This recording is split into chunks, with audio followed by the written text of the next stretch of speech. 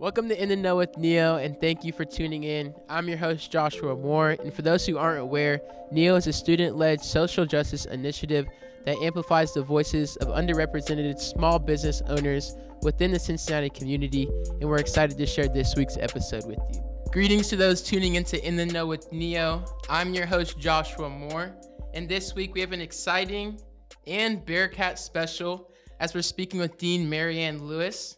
If you're a Lindner College of Business student, I'm sure you're familiar with our guest today.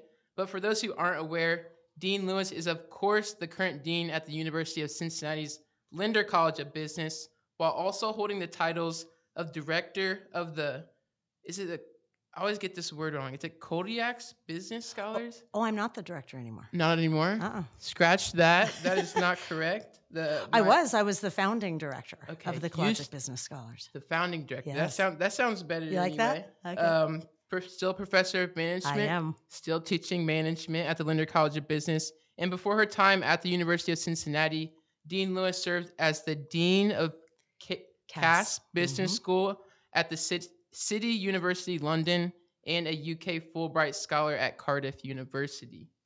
Dean Lewis, I'm so excited to begin this conversation. But first, the simple question of how are you as we're concluding the ninth week of classes um, and we're nearing spring break? Oh, Josh, thank you. I'm so glad to be here with you. So and. I, I- it's spring. What's It not to is. love? It Spring break is. is next week. We're just going to have lots of fun. I love the sun is out, and I'm looking out into Lindner Hall, and it's just buzzing, which Couldn't is great. ask for any more. Couldn't. Couldn't ask for any more. So to give a brief background of how this all came about and how we're using the newly um, founded Lindner podcast studio, which is an amazing honor. Um, I guess we're the first people in there, so Mhm. feels a little special. Um, but we started in the know with Neo just as an idea last semester with the overarching goal of curating Neo as a familiar face within the community. Um, and none of the work we would do, the none of the work we do uh, would be would be possible without the foundational support and backing from such an amazing place such as the University of Cincinnati and specifically the Lindner College of Business. So shall we get into the first question? Oh, let's do. Let's do it. Let's do it. So, for those who aren't aware, who is Dean Marianne Lewis to you? An elevator pitch, if you Mhm. will. Um, and after that, can you brief us shortly of how you landed as the dean Mhm. um, at the Lindner College of Business? Um, so, I mean, I'll give you uh, my my brief history uh, is one of I don't know rebellion and change in some ways. So, uh, I grew up in academia. My dad uh, was a pretty well known uh, academic, and so I moved between Harvard, Stanford, and INSEAD's Oh, wow. business schools all through growing up, and I think there were two things that come out of that. One is my rebellion was I came to the Midwest. You know, after growing up on the coast, I really Mhm. did want to find my own space. Okay. And truly, when I got to the Midwest, I was I felt like I found my people. I just loved, I loved the the kind of calmer culture. Mhm. I loved the community feel that you don't really get Yeah. at cities like San Francisco and Mm-hmm. i- i- the Bay Area and Boston. I mean, I love those cities, but I felt really at home Something here. different. The other thing that I, I think was a big aha for me when I was growing up like that, I mean, I, I knew those campuses well. I spent, I did all of my like childhood, high school work and stuff, Yeah. serving donuts to executive MBAs at Stanford That and other to be an places. experience. It was. And as much as I loved those schools, I really kind of realized that I wanted to be at a public university. Hmm. I, I just love the mission of being much more access oriented than elite. Okay. I just think there's something so about the cool. grittiness of our students. I, I, truly, I do. I love it. And I think then the final piece to that is I was determined not to be an academic. That was going to be my final rebellion. You can see where that got me.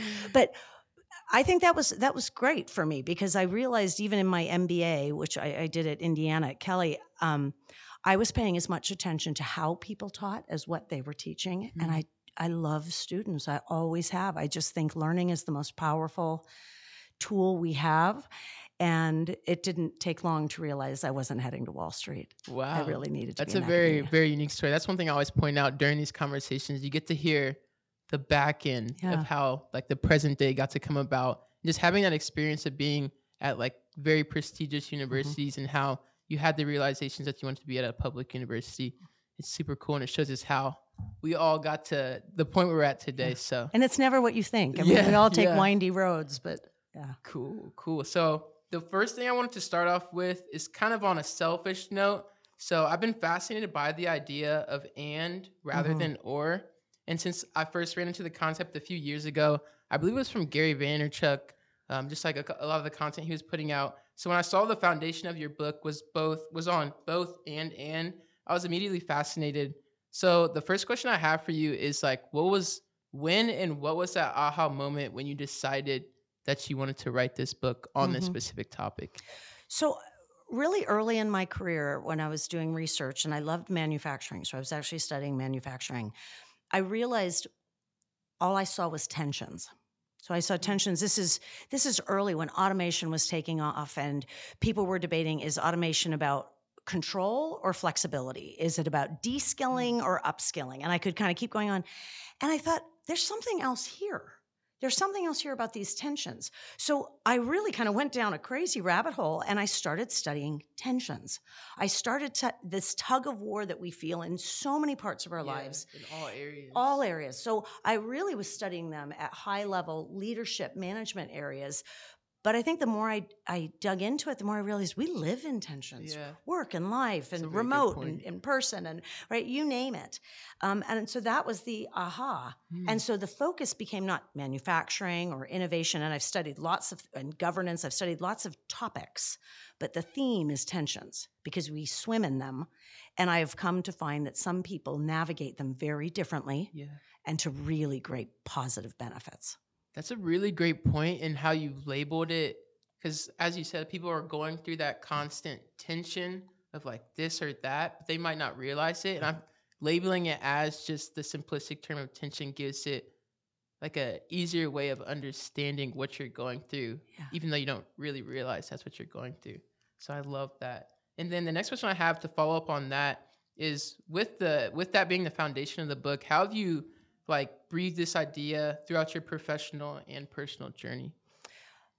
Well, I've, I hope and try to to live it daily because one of the kind of big learnings I've had is that when you're faced in this tension and you feel that tug of war, there are really there are two approaches. There's kind of a typical default as to either or. You know, you weigh Mhm. the pros and cons and you make a trade off. But that is an incredibly limiting approach. Yeah. And worse, I've seen it lead to a host of vicious cycles that we could talk about. But on the positive side, that those tensions pr- create a creative friction that opens up possibilities Mm. to change and innovate and learn. Um, and I mean, in my own leadership experience, and it's been interesting since the books come out, I, I talk about this increasingly with fellow deans, with the provost, with others. You know, you think about kind of the world I live in. Um, on the one hand, you could say, you know, attention is between students, the thought leadership, the faculty side, and our partners. But the way I think about it even more is I see tensions within each of those. So Mm. when we're talking about students and student success, I have heard interesting debates about is it about excellence or inclusion? Hmm. Yes, yes, it is. It's about both Yeah. right and so how do we get so so one of the interesting d- discussions i've ended up having with my boards is our approach is excellence through inclusion Mm. Right that's a you Mhm. change that question and you change the whole dialogue yeah. about it i'm not going to debate with you which one it is because that's the wrong question Yeah. how do we build excellence through inclusion, through really making sure our access mission is bringing the best of everyone together and learning together in a really powerful way? I do the same thing, you know, when I think about thought leadership and our faculty, we can get into these debates between, we call it the three legged stool of academia. Is it about research, teaching, or service? Yes, right? All yes. And so impact, and really Next Lives Here is a great framework for it, is impact is the connector. Mhm. The point is, how do you find synergies between those, Mhm. right? That make a powerful, positive difference. So I try to work through it, but it, it, I'm not saying tensions are easy because Mhm. they're not. And I've worked with remarkable, remarkable leaders globally who are very good at navigating tensions. And they will all say, as much as they are always a challenge, the difference between an either or thinker and a both and thinker is that you treat them as opportunities, Mhm. right? You think there's something in that tension Mhm. that holds new potential, and that excites me. And so I think I live that. And oftentimes, you, you've, you may have heard this in research, we tend to research who we are and what we think. Mhm. So even that rebellion of, you know, Comes back. little kid, Yeah. Marianne Lewis, it is still there because I Mhm. like that. hmm I love that, and I love the point that you, the call out that you made that the tension brings about different opportunities to Mhm. look into different channels. I think that's been evident throughout even my four years here at Cincinnati, and different changes that have been made in different colleges on campus, um, and just the way that the way they go about serving the students, the faculty, and the staff. And you beat me to my next question, so. I guess I don't even have to ask that one, but that was going to Yeah. hit on the different initiatives that Lindner focuses on, Yeah. which is the student focused, thought leader driven, and partner forward initiatives. Um, so that was that was just really great to hear. I, every time I sit in these seats and get to talk to the guests that we speak across, I'm just like blown away myself. I'm like trying to take in all the knowledge while still trying to remain like in the moderator conversation. Um, But, this but you know, I'll add one for- to that, Josh. I mean, one of the things that drew me back to Cincinnati uh, from London, and uh, there were a lot of things, if I'm honest, that drew me back. Um, but one of them is that I absolutely love the co-op model, Mhm. and the reason why that one it drives me back every time is that you can have real debates and questions about. You know, is it about the classroom or the experience, Yeah. right? Where's the learning happening? And it's not just that it's both, is that it's that they feed each other, right? They the, do. the better we do in a classroom, the more prepared you are out in the real world. And then after you've had, whether it's a co op or a study abroad or a, a project that you've been working on in NEO, right? Mhm. Then you come back into the classroom, you have so much more to offer. 100%. And so you they call it absorbative capacity. I'm going to give you a little term. But basically it's it's how do you start to build you know the brain matter to be more accessible to the insights Hmm. that are coming in. And I think that's a really powerful combination of the experience and the classroom. Yeah, I've definitely noticed that too as well. Just going through different interviews and Yeah. Seeing which points in your past experiences you hit on. And it's like I've gone through interviews recently um, at Google for, and then Haley's gonna be at Google as well, and I know Nora's gonna be there um, as well. But I hit on I hit on experiences from Neo when I was a project lead. I hit on experiences from my internships and co-ops um, from the past summers, and I've just hit on my classroom experiences and like all the value that that provides. So it definitely just does open the doors. It's not one door; it's multiple doors. You can go in each, which like signifies that and or either. The next question, moving on, it's a bit into relation uh, to that, but you made a major milestone uh, when you became the dean of the Lindner College of Business, as you were the first woman to lead the Lindner College of Business, which is an amazing, amazing feat in itself. Um, so, just a very simple question: How did that feel accomplishing that? Because even when you're walking up the yeah. stairs, there's the pictures of the deans, and I notice it every time I walk up. Do you? I do. You know, it was funny when they were putting up the, the the pictures in the new building. They asked me if we could go ahead and do my portrait, and the reason I say that is because the original tradition was to do it when you left. Hmm. And I said, "Well, shouldn't we stick with the tradition?" And then they showed me what it was going to look like, and I said, "Oh, got it." And I think you're the one. Yeah, we- we with better put red it- two on. So Yeah. it's like that wasn't purposeful, but yeah, it's there's a lot of it looks standing out. good. Well, you know, I, I would say to that, Josh, um, obviously it, it does feel good. and I, I'm proud to, to serve, and I hope I'm, I'll be glad when we have we aren't saying 1st in Mhm. front of a whole lot of Mhm. things, Yes, right? yes. But um, it actually goes back a step earlier because uh, when I came back from my Fulbright from London in 2014, I start I had a couple of dean opportunities that had developed through that, and one of them was in London, and I was really debating on whether to take it because Mhm. I'll just be honest, it sounded really hard, right? Okay. Completely new role, new institution, new culture. It was scary. Mhm. And um, uh, my co author, in fact, the co author for this book, sent me an article that said out of the top 100 business schools in the world, and Cass is in the top 40, Wow. uh, only eight are led by women. She Mhm. said, You must go to London. And I said, I know, I know. It's your calling. And, and I, I'm so grateful I did Yeah. because I truly, I think then coming back just felt that much better because I had already climbed a very steep learning curve. And a, an epiphany when I was in London was, you know, if you're going to work this hard, you better do it at a place you love. Mm. Yeah, and I Makes think it way better. yeah, that's that's something I've realized throughout my four years is if you genuinely are involved in putting all of your effort into something, it just makes the difficulty so much easier. So much better. which is which is an interesting thing to Mhm. say.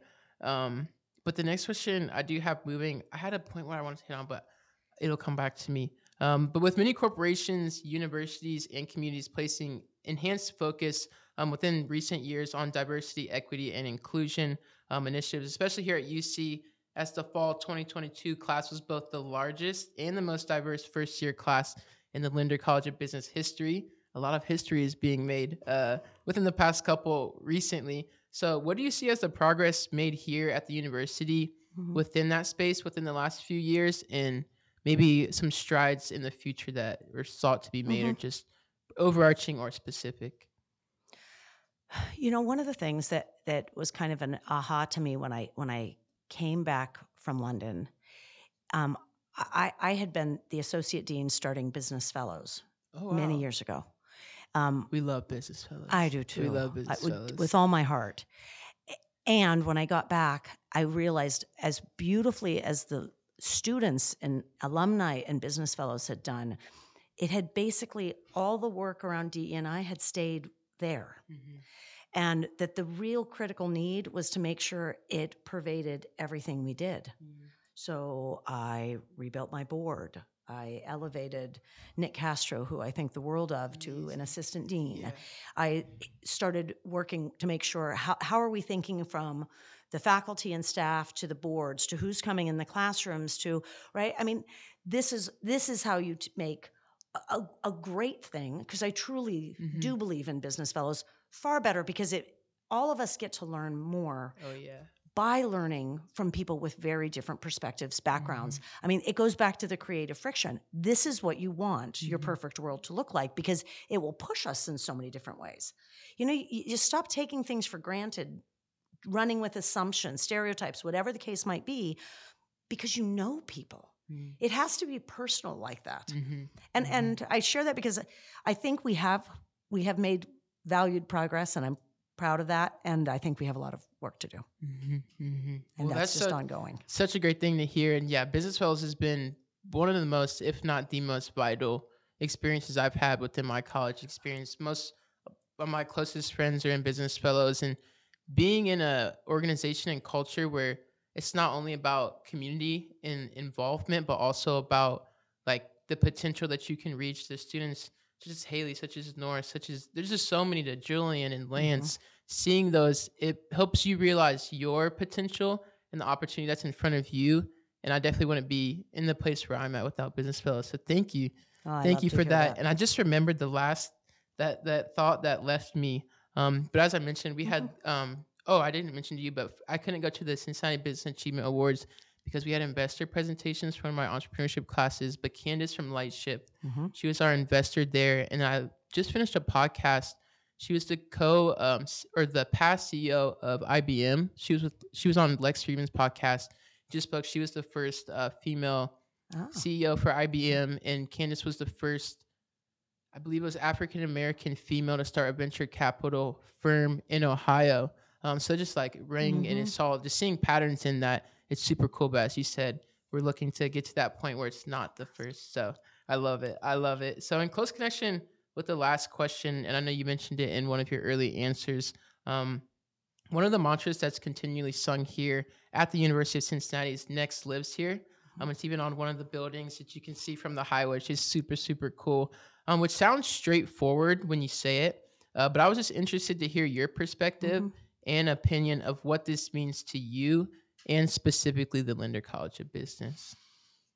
You know, I think when I first got here, I was not quite sure what it meant, mm-hmm. but the mm-hmm. more I'm living the mantra of Next Lives Here, the more in my mind it means future looking, mm-hmm. right? Forward thinking, pushing the envelope, and doing that from the students and the programming work, from the research we're doing and the impact there to the way we're part we're working with partners, making all of those things with a better future in mind. Mm-hmm. And that means future for you, right? Great career, accelerated, moving in the more importantly where you want, mm-hmm. um, but also from the research that changes you know people's the understandings world. of the world right yeah. and business and then with the partners partners to me is where we apply it mm-hmm. and how we can all get better i mean I love that we're in the heart of Cincinnati. I think this is a fantastic city. I've had a couple of big ev- spring events, like we just had the chamber event a couple of years ago, and we had both the So- governors of Ohio and Kentucky there talking about the new bridge. And you had this whole kind of uh, the whole night. It was just about a better future. Like th- we are revving. We're revving at UC and Mhm. Lindner in Cincinnati, and those those virtuous cycles work because it's like a fuel to this pump, and it just starts to move. And that's where that's an exciting place to be. Mhm, mhm, definitely. That's next. Definitely. Yes. Mhm. I love it. I love it. And it's it's so evident just within my four years. It's gone by so quickly. Has it?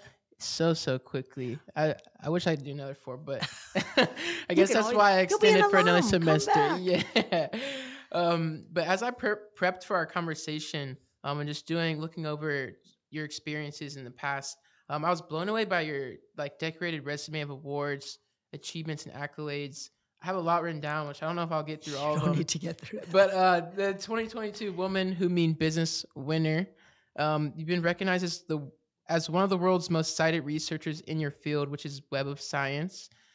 Paper of the Year award in 2000, the Decade Award from the Academy of Management Review in 2021, and you your work has been um, displayed in journals such as the Harvard Business Review, the Academy of Management Journal, and the Journal of Operations Management just is amazing to say. It has to be a good feeling. Uh, but with this list, do you have like a most memorable achievement throughout the years, or even just like a funny story to go along with one? If- Sure. Um, yeah, I've got a funny one. Uh, you know, when I was first starting my research, I, I had a joke with my my little kids and my my husband at the time, and and I would say I'm I'm famous to five people. I'm famous to five people, and it would be my the reason I was I would say that is because I don't know who reads the academic Yeah. journals, right? They're just academic journals. Um, and so uh, that would be it became this like long-standing joke. But one of the really powerful experiences I had, I remember we were at a conference in Lisbon, um, Portugal, and it was me, Wendy Smith, and Paula Jarzabkowski, who's who's was in London. She's now in uh, Australia, and we said, I think it's time to dominate the world. I mean, we were just joking around, right? And we realized that we were doing this what we thought was really cool work on on tensions and paradox and they said you know i think we got to bring more people into this. And so we started building a scholarly community. We basically just started working with people around the world who were also seeing tensions and starting to study them.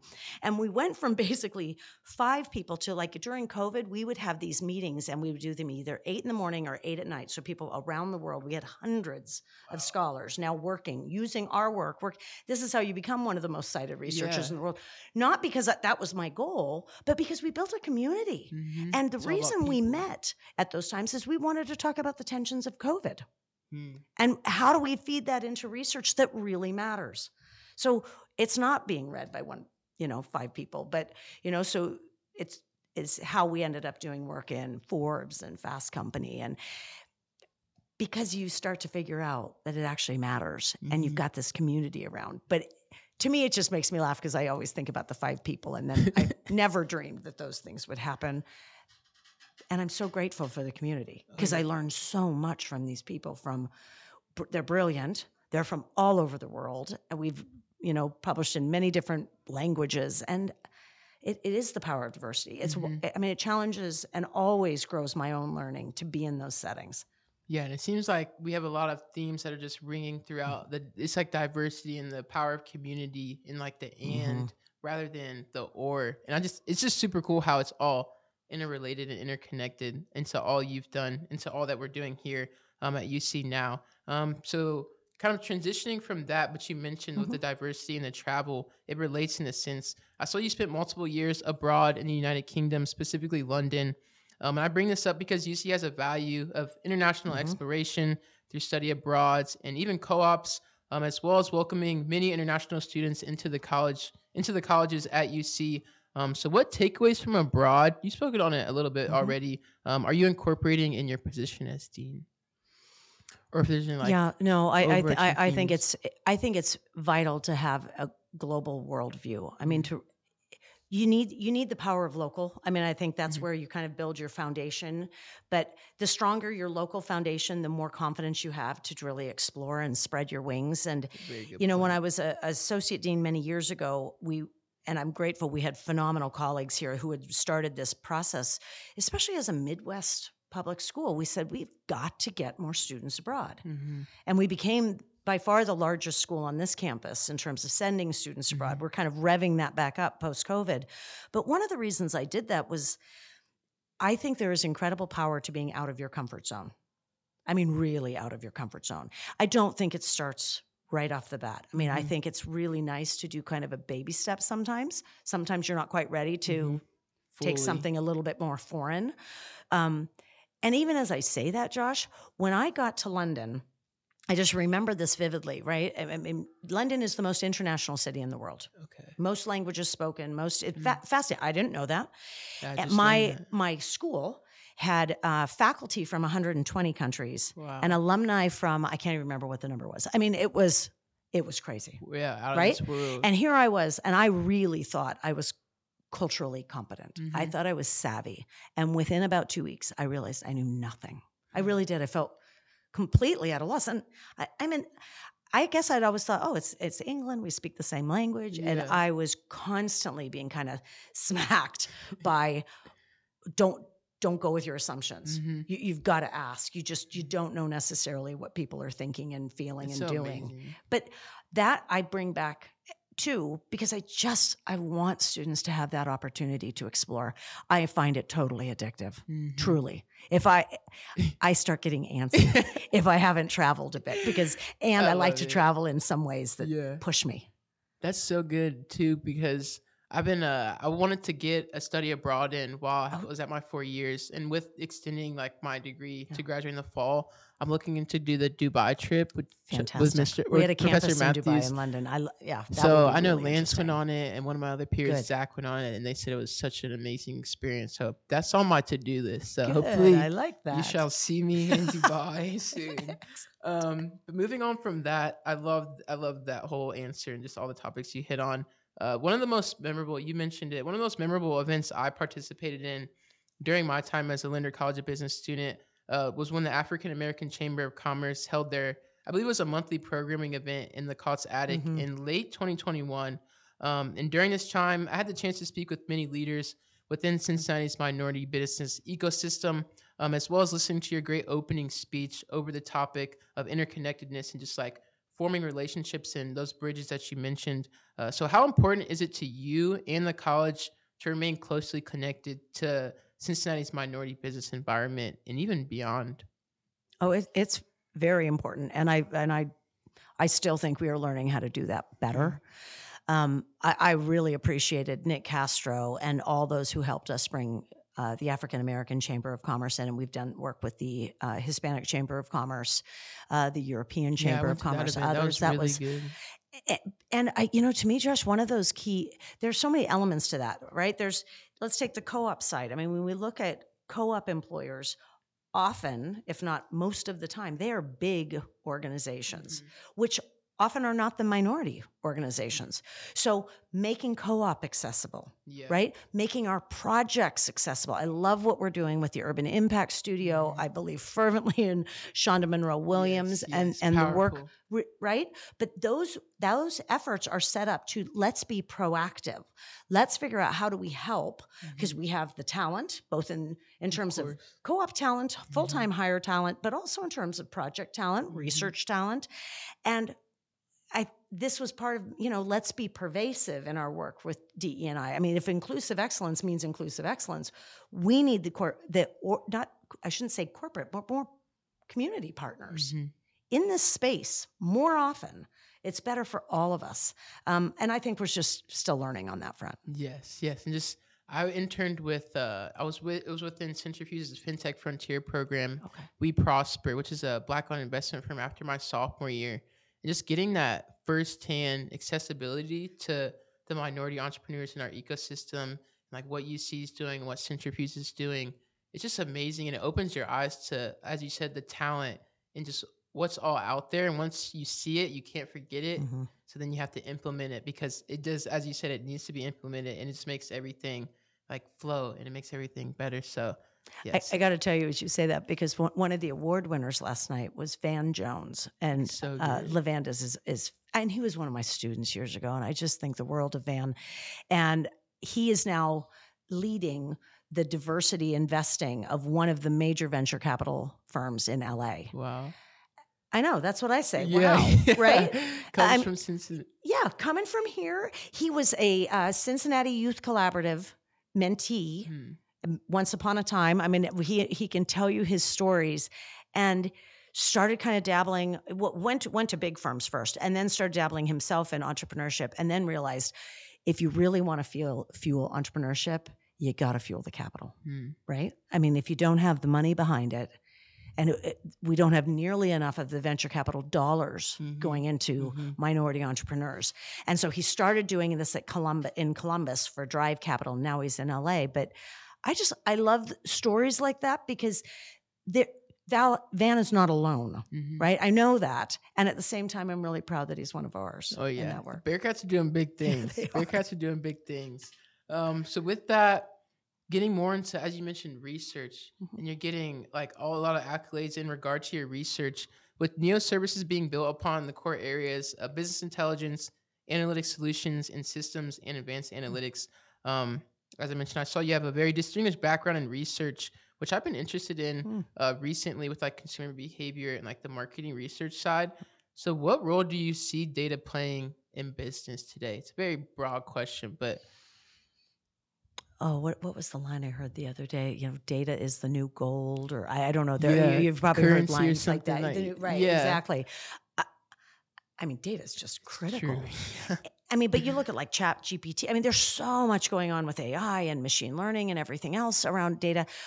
I I fervently believe not only is data vital from the marketing side to the operations side to the finance side to the HR side, right? Mhm. Yeah. How do we use data to point. learn better faster?